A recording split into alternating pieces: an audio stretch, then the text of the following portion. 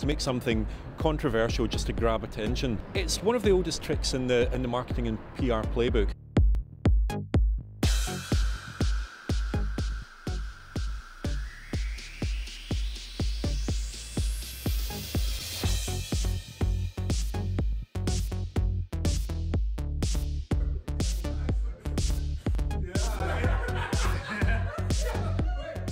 I don't think they'll do it on purpose. Deliberately provocative because all advertisements are good as advertising, right? So the more controversial, the better.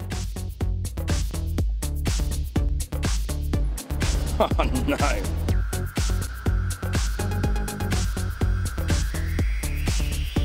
I don't know, it's, it's like dark iconography. At the end of the day, none of us was in the mind of the creative director, so we can't tell exactly what he was thinking.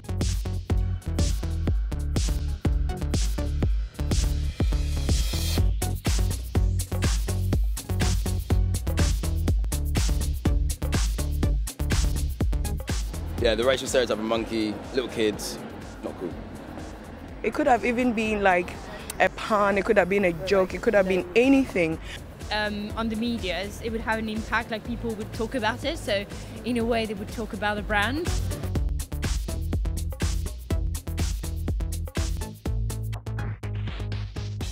Before a product gets onto a site, it's going to be seen by a lot of eyes. And I think that's why everyone's suspicions are aroused when something does appear that is overtly racist or, or sexist. I'd be very surprised if the, the brands who've recently found themselves in the, at the centre of, of, of race storms did it deliberately.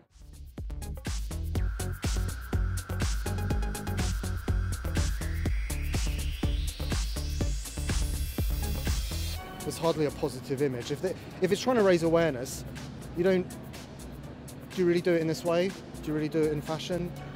I think this one is a statement, not like the other one. We have to be careful also about the social weather, about the message we're trying to get across, and be a bit sensitive to other cultures.